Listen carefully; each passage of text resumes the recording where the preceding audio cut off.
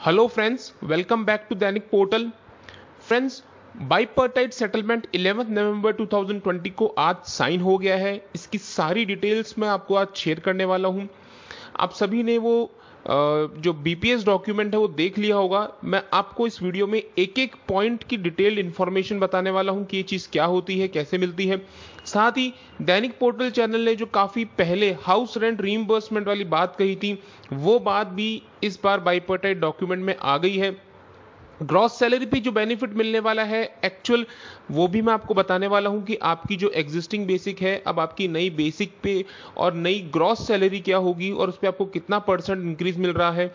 और साथ ही जो दूसरे इंपॉर्टेंट डेवलपमेंट्स है कि सब स्टाफ को भी सी वाला बेनिफिट यानी वन प्लस टू टोटल तीन इंक्रीमेंट्स देने की बात हो गई है। चलिए वीडियो स्टार्ट करते हैं। आज दो नाइन्थ और टेंथ नवंबर को काफ़ी मीटिंग्स हुई और फाइनली इलेवंथ नवंबर को बाईपार्टाई डॉक्यूमेंट साइन हुआ। ये उससे रिलेटेड आप पिक्चर्स स्क्रीन पे देख सकते हैं। डॉक्यूमेंट में जो भी इंफॉर्मेशन दी गई है, वो मैं आपके साथ अब स्टार्ट करने वाला हूँ। ये वो पेज नंबर वन है, जो आज इलेवंथ नवंबर 2020 को चारों जो वर्कमैन यूनियन है बेफी के अलावा उन्होंने इशू किया है और इसमें सारी इंफॉर्मेशन बताई गई है। आप चाहे तो ये डॉक्यूमेंट भी रीड कर सकते हैं और लास्ट में उसको मैंने ढंग से एक एक पॉइंट को एक्सप्लेन भी कर रखा है। ये पेज टू है। आप वीडियो पॉज करके इसकी डिटेल्स को रीड कर सकते हैं। इसमें लगभग लगभग सारे पॉइंट्स कवर्ड हो गए हैं। अच्छी बात यह है कि हाउस रेंट रीइंबर्समेंट की एलिजिबिलिटी इस बार स्टार्ट कर दी गई है बैंक स्टाफ के लिए। और ये लास्ट पेज है पेज नंबर फिफ्थ जिसपे कुछ डिसिप्लिनरी एक्शन और प्रोसीजर्स में जो रिवाइज जो रिविजन किए गए हैं, उसे इसमें बताया गया है। तो फ्रेंड्स चलिए स्टार्ट करते हैं। सबसे पहले ग्रॉस सैलरी से रिलेटेड ग्रॉस सैलरी आप अभी आप जो स्क्रीन पे देख पा रहे हैं, वो बैंक क्लर्क की है। ये टेंथ बाइपर्टाइट सेटलमेंट के हिसाब से आपकी बेसिक पे है और टेंथ बाइपर्टाइट के हिसाब से जो आपकी एग्जिस्टिंग ग्रॉस सैलरी है एज ऑन नवंबर 2020 को, उसके अकॉर्डिंग कैलकुलेट की गई है। इस ग्रॉस सैलरी में एचआरए मैंने 9 परसेंट लिया है क्योंकि अब पहले एचआरए की तीन अलग अलग कैटेगरीज थी। मैंने एक एवरेज 9 परसेंट के हिसाब से सारा कंपेरिजन किया है। इसके बाद राइट साइड में आप अपनी रिवाइज्ड बेसिक पे चेक कर सकते हैं और आपकी जो अब नई ग्रॉस सैलरी होगी, जिसमें सब स्पेशल अलाउंस जो 16.4 परसेंट है ट्रांसपोर्ट अलाउंस उसके ऊपर डीए सारी चीज़ें इसमें ऐड कर दी गई है। और लास्ट कॉलम है कि आपको परसेंटेज का बेनिफिट कितना मिला। तो आप देख सकते हैं कि फ़र्स्ट स्टेज वैसे तो जो बैंक क्लर की एंट्री स्केल होती है, वो थर्ड स्टेज होती है, यानी दो एडवांस इंक्रीमेंट मिलते हैं ग्रेजुएशन के।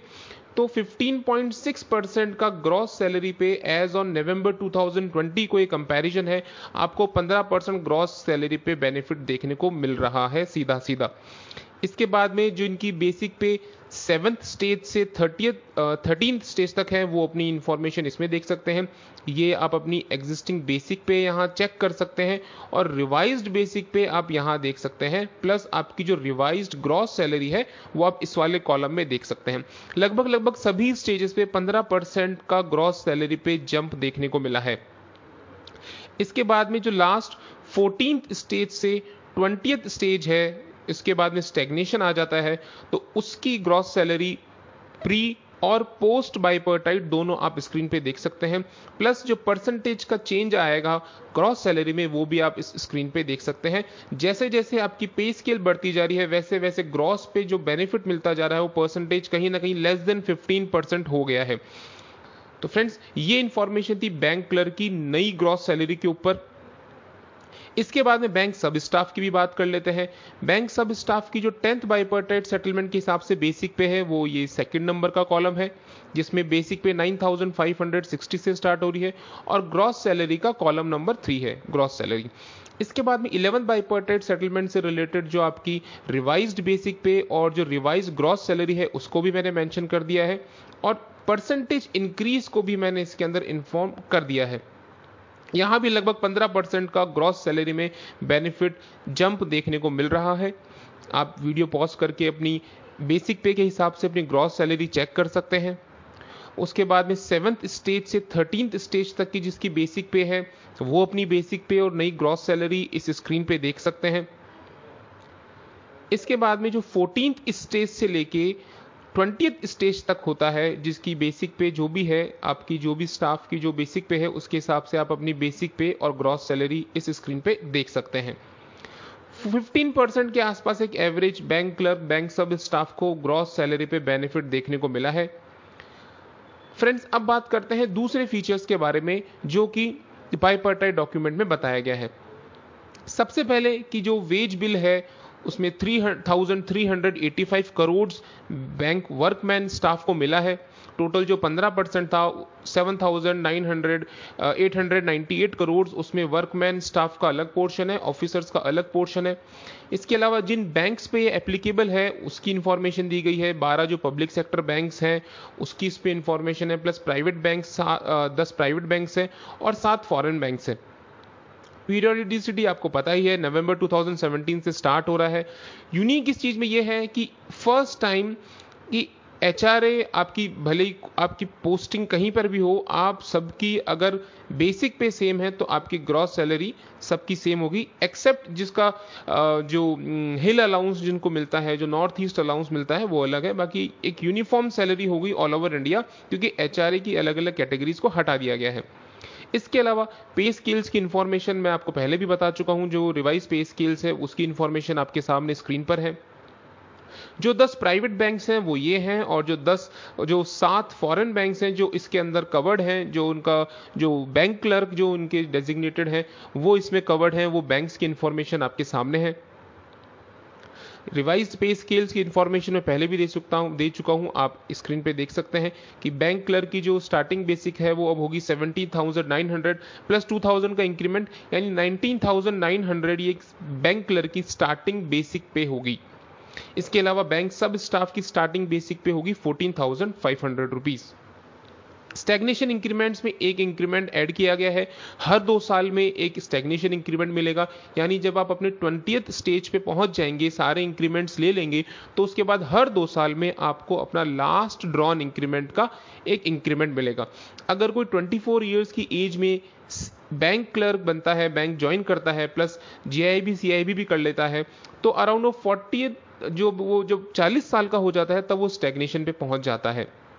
इसमें जेआईबी सीआईबी के तीन इंक्रीमेंट सेट कर लिए गए हैं और माना गया है कि वो 24 इयर्स की एज में बैंक ज्वाइन कर लेता है।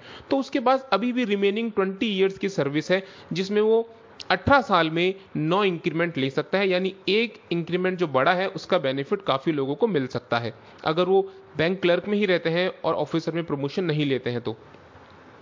इसके अलावा स्पेशल पे को रिवाइज कर दिया गया है क्लरिकल स्टाफ के लिए भी और सबॉर्डिनेट स्टाफ के लिए भी, ये स्पेशल पे डेजिग्नेटेड स्पेशल पे होती है, यानी जिसका जैसा डेजिग्नेशन होता है, उसको उस हिसाब से स्पेशल पे मिलती है।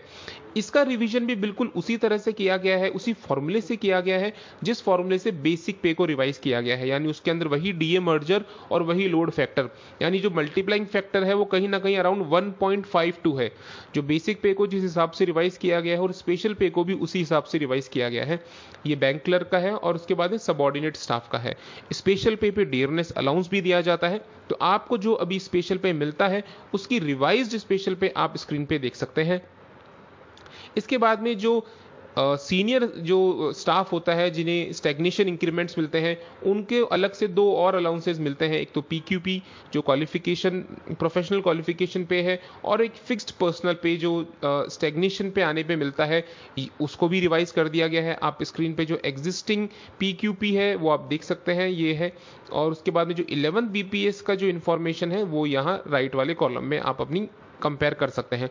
इसके ऊपर आप अपना डीएनएस अलाउंस भी ऐड कर सकते हैं और अपनी ग्रॉस सैलरी के अंदर ये वाला कंपोनेंट ऐड कर सकते हैं। इसके बाद में जो फिक्स्ड पर्सनल पे है, उसमें भी दो कैटेगरी होती है। अगर जिस स्टाफ को बैंक अकोमोडेशन मिलता है, उसका अलग कंपोनेंट होता है और जहाँ बैंक अकोमोडेशन प्रोवाइड नहीं होता है, उसका अलग कंपोनेंट होता है। जहाँ बैंक अकोमोडेशन नहीं मिलता है, वहाँ फिक्स पर्सनल पे थोड़ा ज़्यादा मिलता है और जहाँ अकोमोडेशन मिल जाता है, वहाँ फिक्स पर्सनल पे कम मिलता है। तो जो उसकी रिवाइज लिमिट है, वो आपके सामने स्क्रीन पर है। डीएनएस अलाउंस को आपको पता है, पहले 0.1 परसेंट पर स्लैब दिया जाता था, अब ये 0.07 परसेंट पर slab of four points over 6352 points यानी इसके ऊपर जितना भी डीए बढ़ेगा, अब उसे चार पॉइंट का 0.07 परसेंट के हिसाब से एक स्लैब बनेगा। इन्होंने डीएनएस अलाउंस की जो रिवाइज्ड परसेंटेज है, वो भी बता दी गई है कि नवंबर 2017 को जो डीए रिवाइज हो गया, वो अब 2.66 परसेंट हो गया और अब जो नवंबर 2020 को जो डीएनएस अलाउंस है, वो 23.8 परसेंट हो गया है। इसके अलावा स्पेशल अलाउंस भी 7.75 परसेंट से 16.4 परसेंट बढ़ा दिया गया है और उसमें डियरनेस अलाउंस भी दिया जाएगा। ट्रांसपोर्ट अलाउंस जो पहले फोर ट्वेंटी फाइव रुपीज़ था विदाउट डीए उसे बढ़ाकर six hundred rupees plus DNS allowance भी उसमें दिया जाएगा। ये बेनिफिट इलेवन बीपीएस में मिलने वाला है। हाउस रेंट अलाउंस में एक बहुत अच्छा इंप्रूवमेंट हुआ है। सबसे ज़्यादा बेनिफिट जो मुझे दिखा, वो एक हाउस रेंट अलाउंस में दिखा कि एक तो इन्होंने कैटेगरी खत्म कर दी तो जिन्हें साढ़े सात परसेंट का एचआरए मिलता था, अब उन्हें भी दस पॉइंट पच्चीस परसेंट का एच मिलेगा तो वहाँ ये लगभग लगभग जो तीन परसेंट का एक गैप है, वो एक अच्छा उन्हें बेनिफिट दे सकता है। यूनिफॉर्म रेट कर दी गई है ten point two five percent all over India इसमें एक अच्छी बात यह है कि अगर किसी बैंक स्टाफ का, यानी क्लर्क क्लर्क हो या सब स्टाफ हो, अगर मैनेजमेंट उनका ट्रांसफ़र करता है, एक सेंटर से दूसरे सेंटर में उनको भेजता है तो उनके पास में 10.25 परसेंट एच की बजाय 11 परसेंट एच लेने का ऑप्शन है। या फिर जो एच उन्हें मिलता है, उसका डेढ़ सौ परसेंट वो रेंट रीइंबर्समेंट ले सकते हैं। कैसे? मैं समझाता हूँ कि जैसे मान लीजिए किसी की बेसिक पे ट्वेंटी थाउज़ेंड है। यानी जैसे स्टार्टिंग बेसिक पे वैसे नाइनटीन थाउज़ेंड नाइन हंड्रेड है। मैंने एक कैलकुलेशन के लिए माना है कि जैसे मान लीजिए किसी के बेसिक पे ट्वेंटी थाउज़ेंड है। तो अभी वो जिस भी सेंटर पे होगा, उसे 10.25 परसेंट के हिसाब से एचआरए मिलेगा टू थाउज़ेंड फिफ्टी रुपीज़ अगर उसका ट्रांसफ़र होता है तो उसके पास में दो ऑप्शन है। यानी मैनेजमेंट अगर उसका ट्रांसफ़र करता है तो उसके पास में दो ऑप्शन है। पहला कि या तो वो स्ट्रेट 11 परसेंट एच ले ले यानी जैसे वो 10.25 परसेंट मिलता था, अब उसे 11 परसेंट एच मिलेगा, यानी two thousand two hundred rupees या फिर वो ये कर सकते हैं कि जो उन्हें एच मिलता था 10.25 परसेंट के हिसाब से पहले, यानी टू थाउज़ेंड फिफ्टी रुपीज़ जो मिलते थे, उसका डेढ़ गुना, उसका डेढ़ गुना वो क्लेम कर सकते हैं, यानी थ्री थाउज़ेंड सेवेंटी फाइव पर three thousand seventy five rupees वो रेंट रीइंबर्समेंट के तौर पे क्लेम कर सकते हैं। बस कंडीशन ये है कि उन्हें जो रेंट की रिसिट है, वो शो करनी पड़ेगी।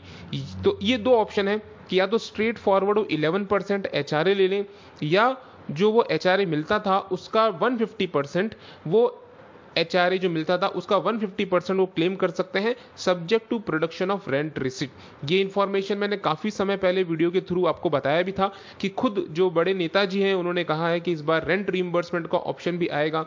तो कहीं ना कहीं एक छोटी सी शुरुआत है, अच्छी बात है कि आने वाले समय में जैसे जैसे बेसिक पे बढ़ेगी, यहाँ जो इसका परसेंटेज है, वन परसेंट क्लेम का, वो भी धीरे धीरे रिवाइज हो जाएगा और ये एक अमाउंट ठीक ठाक हो जाएगा।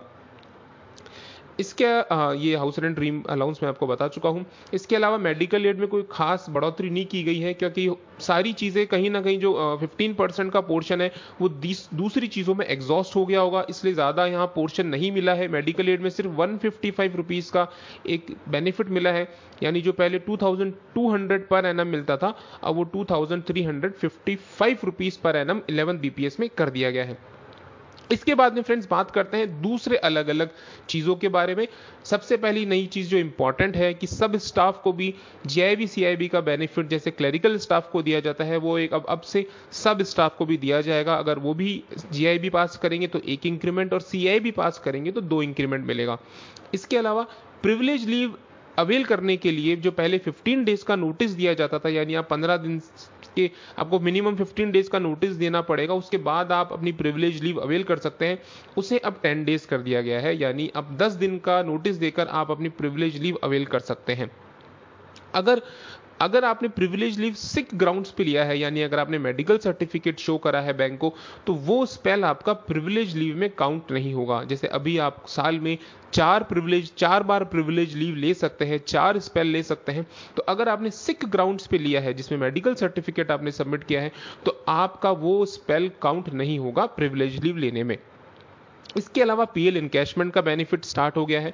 मैं पहले भी बता चुका हूँ कि अगर किसी की एज 55 ईयर्स या उससे ज़्यादा है तो वो सात अपनी प्रिविलेज लीव एक साल में इनकैश करा सकता है, यानी सात दिन की एक तरह से तनख्वाह ले सकता है। और अगर एज 55 से कम है तो वो पाँच दिन की सैलरी को इनकैश करा सकता है, अपनी पीएल इनकैश करा सकता है हर कैलेंडर ईयर के हिसाब से, यानी जनवरी से लेके दिसंबर के अंदर।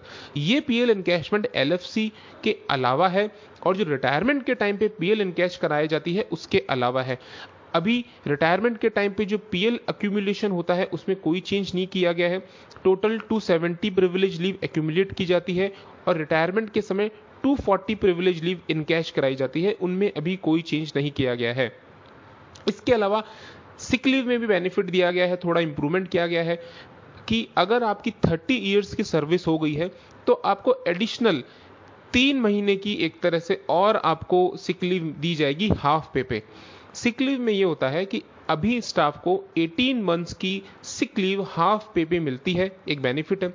इसके अलावा जिन्हें 24 ईयर्स हो जाते हैं सर्विस में, उन्हें तीन महीने की सिक लीव और मिल जाती है। जैसे अगर आप 18 मंथ्स को 30 से मल्टीप्लाई करेंगे तो ये आएगा 540 डेज़ 540 डेज़ के अंदर और 90 डेज़ का बेनिफिट अभी ऑलरेडी है 24 इयर्स की सर्विस के बाद में तो यानी ये हो गया 630 डेज़ थी, अभी आप सिक लीव 630 डेज़ की है, उसमें थोड़ा और बेनिफिट किया गया है कि अगर आपकी 30 इयर्स की सर्विस हो गई है तो एडिशनल आपको थ्री मंथ्स की, यानी 90 डेज़ की और आपको एडिशनल सिक लीव दी जाएगी। ये उन स्टाफ के लिए काफ़ी मदद करेगा जो सीनियर स्टाफ हैं 50 इयर्स की ऊपर एज में जो सर्विस कर रहे हैं, उन्हें और सिक लीव लेने में बेनिफिट मिलेगा। प्लस जो फीमेल एम्प्लॉयज़ हैं वुमेन एम्प्लॉयज़ हैं, वो भी ये सिक लीव अवेल कर पाएँगे अपने बच्चों की देखभाल के लिए। इसमें एक कंडीशन ये लगाई है कि अगर कोई women employee sick leave avail करते हैं अपने बच्चों के सिकनेस पे तो बच्चों की age up to eight years होनी चाहिए। यानी उस, अगर बच्चों की एज एट ईयर्स से ज़्यादा है तो ये वाला सिक लीव जो बेनिफिट है वो नहीं मिलेगा। और अप टू एट ईयर्स की एज है तो आपको मेडिकल सर्टिफिकेट भी देना होगा अपने बच्चे का, तभी आप जो वुमेन एम्प्लॉयज़ हैं, वो ये सिक लीव अवेल कर सकेंगे।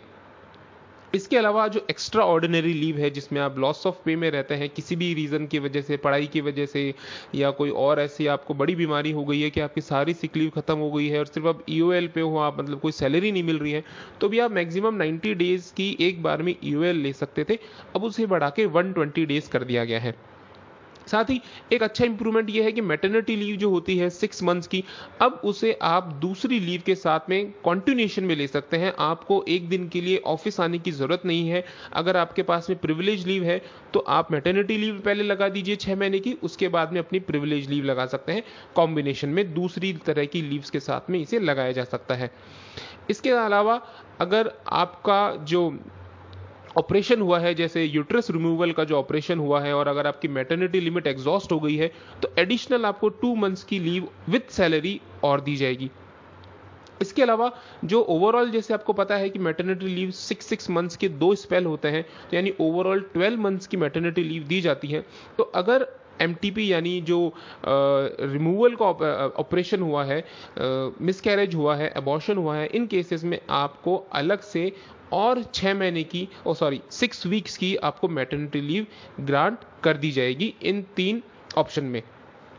इसके अलावा जो मैटर्निटी लीव है अडॉप्शन के लिए भी उसे सिक्स मंथ से बढ़ाकर नाइन मंथ्स को कर दिया गया है एक चाइल्ड के लिए। यानी मैटर्निटी लीव में वुमेन एम्प्लॉयज़ के लिए काफ़ी इसमें इंप्रूवमेंट्स किए गए हैं, ये एक अच्छी बात है। और अगर जैसे मान लीजिए किसी वुमेन एम्प्लॉय के ट्विन चिल्ड्रन होते हैं तो जो सिक्स मंथ्स की मैटर्निटी लीव है, उसे बढ़ाकर एट मंथ्स कर दिया गया है। इसके अलावा और भी दूसरे ऑप्शंस हैं जो मैटर्निटी लीव के इम्प्रूवमेंट से रिलेटेड हैं कि जैसे अगर आपके कुछ स्पेसिफिक अगर एलिमेंट्स हैं, उनका हॉस्पिटलाइजेशन हुआ है, आपका ट्रीटमेंट हुआ है तो जो ओवरऑल 12 मंथ्स का मैटर्निटी लीव है, उसमें और 30 डेज़ का आपको मैटर्निटी लीव ग्रांट की जाएगी। सब्जेक्ट टू वो जो एक स्पेसिफाइड एलिमेंट्स हैं, जिसकी लिस्ट ये आगे शेयर कर देंगे। इसके अलावा अगर पैटर्निटी लीव की अगर बात करें तो पैटर्निटी लीव यानी जो फादर को चाइल्ड होने पर जो लीव दी जाती है तो पैटर्निटी लीव अब चाइल्ड अडॉप्शन के केस में भी मेल स्टाफ को सैंक्शन की जा सकती है। इसके अलावा अगर कर्फ्यू है, आपके एरिया में राइड्स हो गए हैं, आप, कोई नेचुरल कैलिमिनिटी आ गई है फ्लड आ गए हैं अर्थ क्वेक आ गए हैं और आप अपने ऑफ़िस नहीं जा पा रहे हैं तो वो आपका लीव ट्रीट नहीं होगा, वो एब्सेंस ट्रीट नहीं होगा मतलब आपको एक अलग से स्पेशल पे ऑन ड्यूटी दिया जाएगा और आपकी उसमें छुट्टी नहीं कटेगी। ये एक डेवलपमेंट एक हुआ है। इसके अलावा एलएफसी के अंदर इम्प्रूवमेंट हुआ है। एलएफसी से रिलेटेड भी मैंने आपको पहले बताया था कि जो टेंथ बीपीएस है, उसके हिसाब से लिमिट आप ये स्क्रीन पे ऊपर देख सकते हैं। दो ऑप्शन है, टू ईयर्स का ब्लॉक होता है फोर ईयर्स का ब्लॉक होता है। ये सब स्टाफ की लिमिट है और ये क्लैरिकल की लिमिट है। इनको इलेवंथ बीपीएस में नीचे वाली टेबल के हिसाब से इंप्रूवमेंट कर दिया गया है। किलोमीटर्स थोड़े बहुत बढ़ा दिए गए हैं। इसके अलावा एम्प्लॉयज़ अपनी कार से भी अगर चाहें तो एलएफसी पे जा सकते हैं। ये ऑप्शन पहले भी था। उसमें जो रोड के माइलेज के चार्जेस के हिसाब से पर किलोमीटर के हिसाब से पैसा दिया जाता था। पहले छः रुपये पर किलोमीटर के हिसाब से रिम्बर्समेंट होता था। छः रुपये पर किलोमीटर इंटू टोटल किलोमीटर्स आपकी जो भी एलिजिबिलिटी है। उसके बाद अब उसे बढ़ाकर एट रुपीज़ पर किलोमीटर कर दिया गया है। इसके अलावा राजधानी और शताब्दी ट्रेन है उन्हें भी एलएफसी में इंक्लूड कर लिया गया है। अगर क्लरिकल स्टाफ है तो सेकंड एसी है, और अगर सब स्टाफ है तो थर्ड एसी का, शताब्दी और राजधानी का फेयर भी आपको दिया जाएगा एलएफसी के अंदर। इसके अलावा जो लोकल साइट सीइंग है, उसमें इंप्रूवमेंट किया गया है कि अगर आप उसके बिल सबमिट करेंगे, आप कहीं कहीं घूमने गए और लोकल साइट सीइंग के लिए आपने किसी को, किसी ऑपरेटर से कॉन्टैक्ट किया, उसने आपको उसका बिल भी दिया है तो आप वो बिल प्रोड्यूस करने पर उसका रिइम्बर्समेंट भी ले सकते सकते हैं। और अगर हस्बैंड और वाइफ दोनों बैंक में हैं तो आप दोनों अपनी अपनी एलएफसी ले सकते हैं। यानी अगर आपने टू इयर्स का ब्लॉक चूज़ कर रखा है तो आप एक तरह से हर साल एलएफसी पे जा सकते हैं। फ़र्स्ट ईयर में हस्बैंड की एलएफसी हो गई, सेकेंड ईयर में वाइफ ने एलएफसी अवेल कर ली, फिर थर्ड ईयर में दोबारा हस्बैंड ने अवेल कर ली और फोर्थ ईयर में वाइफ ने अवेल कर ली। तो इस तरह से इंडिविजुअल एलएफसी का बेनिफिट भी इलेवन बीपीएस में कर दिया गया है।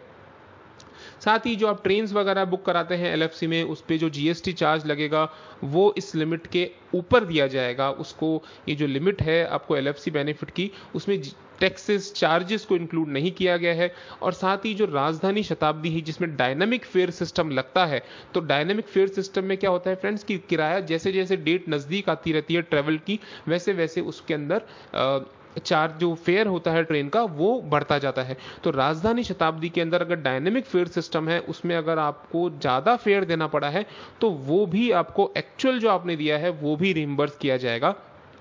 इसके अलावा जो फार फ्लंग एरिया, जो दूर दराज के एरियाज़ में जो लोग स्टाफ पोस्टेड है, उन्हें यह बेनिफिट दिया गया है कि उनकी जो भी प्लेस ऑफ़ पोस्टिंग होगी उससे जब वो नियरेस्ट रेलवे स्टेशन पे जाएँगे तो वो जो डिस्टेंस वो ट्रेवल करेंगे, उसका भी उन्हें एडिशनली पे किया जाएगा।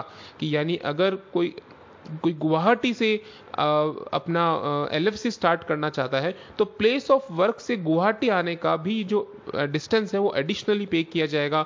कोई अंडमान निकोबार से चेन्नई या कोलकाता आ रहे हैं तो वो एडिशनल बेनिफिट दिया जाएगा। यानी आपकी प्लेस ऑफ़ पोस्टिंग से जो नियरेस्ट जो मेजर रेलवे स्टेशन है वहाँ तक आने का अलग से एडिशनली आपको एलएफसी का रीइंबर्समेंट किया जाएगा। इसके अलावा जो पौनी डॉली चार्जेस होते हैं, यानी जो कोई केदारनाथ, बद्रीनाथ जाते हैं और खच्चर के ऊपर बैठकर यात्रा करते हैं, या फिर जो लोग उन्हें हाथ में उठाकर लेके जाते हैं, उसको कैरी करते हैं, डॉली चार्जेस जो होते हैं, उसका भी रीइंबर्समेंट होगा, जो भी गवर्नमेंट की रेट्स है, उसके हिसाब से। साथ ही एलएफसी चूज़ करने का एक और ऑप्शन दिया जाएगा, जिन स्टाफ ने, जो भी स्टाफ ज्वाइन करता है, उनसे स्टार्टिंग में एलएफसी का बेनिफिट पूछ लिया जाता है कि आपको टू ईयर्स का ब्लॉक चाहिए या फोर ईयर्स का ब्लॉक चाहिए तो उसे चूज़ करने का ऑप्शन एक और दिया जाएगा। अगर आपको चेंज करना चाहते हैं तो कर सकते हैं। इसके अलावा डिपेंडेंट्स की डेफिनेशन का जो है इनकम क्राइटेरिया उसे 10,000 से 12,000 कर दिया गया है। यानी आपके जो भी डिपेंडेंट पेरेंट्स हैं अगर उनकी पर मंथ जो भी सैलरी या जो भी इनकम है पेंशन को मिलाकर वो दस हज़ार रुपये से ज़्यादा है तो वो डिपेंडेंट नहीं कहलाई जाएँगे। अब उस दस हज़ार रुपए को बढ़ा के बारह हज़ार कर दिया गया है। कि यानी बारह हज़ार से अगर कम है तो वो डिपेंडेंट होंगे। अगर बारह हज़ार से ज़्यादा इनकम है, किसी भी तरह के सोर्स पे पेंशन को मिला के तो वो आपके डिपेंडेंट नहीं कहलाए जाएँगे। इसके अलावा वॉलेंट्री सिसेशन स्कीम्स के अंदर भी एक बेनिफिट दिया गया है। उन्हें एक अपील करने का ऑप्शन दिया गया है। ये बहुत ही कुछ लोगों के ऊपर ही बेनिफिट एप्लीकेबल है। इसके अलावा जो डिप्लॉयमेंट पॉलिसी है, उसमें कंपनसेशन अमाउंट को रिवाइज किया गया है, जो four hundred rupees per month दिया जाता था, वो सिक्स हंड्रेड रुपीज़ अब दिया जाएगा। इसके अलावा जो ब्रेकेज चार्जेस होते हैं, जब आपको अपने सामान शिफ्ट करने होते हैं, दूसरे स्टेशन पे जाने के लिए तो उसके अंदर भी आपको एक, जो ब्रेकेज चार्जेस दिया जाता है, टूट फूट के जो चार्जेस दिया जाते हैं, उसके अंदर भी रिवाइज किया गया है। उसमें डिक्लेरेशन बेसिस पे लिमिट कम है, यानी क्लरिकल के लिए इलेवन हंड्रेड रुपीज़ है और सब स्टाफ के लिए एट ट्वेंटी फाइव रुपीज़ है। और अगर आप उसका एक्चुअल रिसीट लगाते हैं तो वो रीइंबर्समेंट आपका ज़्यादा है। क्लरिकल में सिक्सटीन हंड्रेड फिफ्टी रुपीज़ है और सब स्टाफ का इलेवन हंड्रेड रुपीज़ है। साथ ही फैमिली डेफिनेशन के अंदर भी कुछ चेंजेस किए गए हैं, जो फिजिकली मेंटली चैलेंज बच्चे होते हैं स्टाफ के, वो अगर उनकी शादी भी हो जाती है तो भी वो स्टाफ के डिपेंडेंट ही कहलाएँगे सब्जेक्ट टू इनकम क्राइटेरिया कि अगर उनकी इनकम हो गई है, उस लिमिट से ज़्यादा तो वो डिपेंडेंट नहीं कहलाएँगे, वरना शादी के बाद भी अब वो डिपेंडेंट कहलाएँगे। साथ ही एनपीएस के अंदर 14 परसेंट का कंट्रीब्यूशन रहेगा बैंक का, वो भी मैं आपको पहले बता चुका हूँ। स्टाफ वही 10 परसेंट बेसिक पे और डीएनएस अलाउंस को करेगा, जबकि बैंक इसके अंदर 14 परसेंट मिलाएगा और जो आपके एनपीएस अकाउंट से जो सर्विस चार्जेस जो कटते हैं बीच बीच में, अब वो उसे बैंक ही बियर करेगा, वो स्टाफ के अकाउंट से नहीं कटेगा। साइकिल अलाउंस और वॉशिंग अलाउंस में भी फिफ्टी फिफ्टी रुपीज़ का बेनिफिट किया गया है। पचास रुपये साइकिल अलाउंस को बढ़ाया गया है और वॉशिंग अलाउंस को भी पचास रुपये बढ़ाया गया है प्लस स्प्लिट ड्यूटी अलाउंस को भी पचास रुपये बढ़ा दिया गया है। ये सभी सब स्टाफ के लिए अलाउंसेज होते हैं। प्रोजेक्ट एरिया कंपेंसेटरी अलाउंस में भी रिवीजन किया गया है कि अगर किसी की पोस्टिंग जो लार्ज स्केल के प्रोजेक्ट्स होते हैं, जो गवर्नमेंट डेजिग्नेटेड प्रोजेक्ट्स होते हैं, वहाँ ऐसी ब्रांचेज में पोस्टिंग होती है सेज वगैरह एक्सपोर्ट प्रमोशन जोन तो उसमें जो प्रोजेक्ट एरिया कंपेंसेटरी अलाउंस है, उसे भी रिवाइज किया गया है। साथ ही फैमिली के अंदर जैसे कई बार क्या होता है कि जैसे किसी के पेरेंट्स नहीं है, लेकिन इन लॉज हैं, यानी सास ससुर हैं, या फिर फादर नहीं है और मदर है, लेकिन फादर इन लॉ भी हैं तो आप चाहे तो वो एनी टू ऑफ़ पेरेंट्स अब आप इसमें चूज़ कर सकते हैं, ताकि आपको उसका मेडिकल बेनिफिट मिल सके और एलएफसी का बेनिफिट भी मिल सके। यानी चाहे तो आप फादर मदर को कर सकते हैं, या फिर अपने सास ससुर को कर सकते हैं, या फिर फादर और सास को कर सकते हैं, या फिर मदर और ससुर को कवर कर सकते हैं। इस तरह का बेनिफिट भी इसमें देना स्टार्ट कर दिया गया है। साथ ही हॉल्टिंग अलाउंस और डाइम अलाउंस को भी रिवाइज कर दिया गया है। ये उसकी लिमिट आपके सामने है स्क्रीन पे। जो फ़र्स्ट टेबल है, वो टेंथ बीपीएस के हिसाब से लिमिट है और जो सेकंड टेबल है, वो इलेवंथ बीपीएस के हिसाब से रिवाइज कर दिया गया है। क्लरिकल को लगभग लगभग साढ़े तीन सौ रुपए, तीन सौ रुपए का रिविजन किया गया है हॉल्टिंग अलाउंस में और सब स्टाफ को ढाई सौ रुपए के आसपास रिवाइज किया गया है। इसके अलावा, अगर आप कहीं हॉल्टिंग अलाउंस जा, आप किसी कि मान लीजिए आप कहीं डेपुटेशन पे जा रहे हैं या किसी काम से जा रहे हैं तो अगर आप वहाँ पे हॉल्टिंग अलाउंस क्लेम कर रहे हैं तो आप चाहे तो होटल रेंट की रिसिट भी देकर उसका रिइम्बर्समेंट भी क्लेम कर सकते हैं। कि अगर आप कहीं किसी होटल में रूम लेके वहाँ पे स्टे कर रहे हैं तो हॉल्टिंग अलाउंस जो आपको मिल रहा है वो आप चाहें तो एक तो आपकी लिमिट है जो आपको मिलनी मिल रही है। इसके अलावा अगर आप चाहें तो अपने जो होटल का रेंट री पे किया है, उसकी रिसीट आप, अगर आप अपने बैंक में सबमिट करेंगे तो वो भी आपको रिम्बर्स होगी सब्जेक्ट टू सीलिंग जो भी प्रिस्क्राइब जो भी सीलिंग होगी, वो कितनी होगी, वो अभी इंफॉर्मेशन आना बाकी है। तो अप टू डेट लिमिट आप होटल का रेंट भी रीइंबर्समेंट बैंक से क्लेम कर सकते हैं। इसके अलावा जो हिल एंड फ्यूल अलाउंस है, उसके अंदर भी रिवीजन किया गया है। इसके हिसाब से ये आप लिमिट्स देख सकते हैं कि जिसकी जितना एल्टीट्यूड पे, यानी हाइट पे पोस्टिंग है मीटर में एम का मतलब मीटर है, उसके हिसाब से आप अपना hill and fuel allowance basic pay से लिंक्ड होता है, उतना परसेंट आप ले सकते हैं मैक्सिमम ये उसकी लिमिट है। यानी इतना ही हो सकता है मैक्सिमम आपकी जो हिल एंड फ्यूल अलाउंस है, ये उसकी लिमिट है। साथ ही ट्रांसफ़र होने पे जो इधर से उधर सामान शिफ्ट करने में जो टोटल वेट जो अलाउड होता है, भाई इतना आप वेट तक का सामान ले जा सकते हैं और इस वेट के हिसाब से जो आपको पैसा मिलता है ट्रांसपोर्टेशन का, उसमें भी रिवाइज कर दिया गया है। मैरिड पर्सन और unmarried person plus sub staff और नॉन सब स्टाफ के लिए एक लिमिट आपके सामने स्क्रीन पर है। इसके अलावा performance link incentive financial year 2020-21 से ही इंट्रोड्यूस की जा रही है। पहले बैंक यूनियंस ने डिमांड थी कि इसी फाइनेंशियल ईयर 1920 से ही परफॉर्मेंस लिंक इंसेंटिव का बेनिफिट दिया जाए, क्योंकि मार्च 2020 को जो बैलेंस शीट बैंक्स ने पब्लिश करी, उसमें काफ़ी बैंक्स का ऑपरेटिंग प्रॉफिट था, यानी इसका बेनिफिट कहीं ना कहीं बैंक स्टाफ को मिल सकता था, लेकिन ये डिमांड भी बैंक यूनियंस की नहीं मानी गई है। और जो, अब जो फाइनेंशियल ईयर चल रहा है फाइनेंशियल ईयर 2020 से 21 यानी 31 मार्च 2021 को जब बैंक का फाइनेंशियल ईयर खत्म होगा और जो बैलेंस शीट साइन की जाएगी, उसमें अगर ऑपरेटिंग प्रॉफिट हुआ तो परफॉर्मेंस लिंक इंसेंटिव के तहत आपको वो बेनिफिट मिलेगा। इसके अलावा लास्ट में डिसिप्लिनरी एक्शन और प्रोसीजर से रिलेटेड इंफॉर्मेशन है, जिसके ऊपर भी एप्लीकेबल है। कुछ स्टाफ अगर उनके ऊपर डिसिप्लिनरी एक्शन की कुछ कार्रवाई चल रही है तो इस स्क्रीन पे आप वो रीड कर सकते हैं। और अगर कुछ आपको बेनिफिट मिलता है तो अब आप इसको समझ सकते हैं। तो फ्रेंड्स ये था पूरा इलेवन बाइपर्टाइट डॉक्यूमेंट जिसकी इन्फॉर्मेशन मैंने आपके साथ शेयर करी। अगर आपको वीडियो अच्छा लगा तो प्लीज़ इसे लाइक कीजिएगा चैनल को ज़रूर सब्सक्राइब कीजिएगा और वीडियो को ज़्यादा से ज़्यादा शेयर कीजिएगा।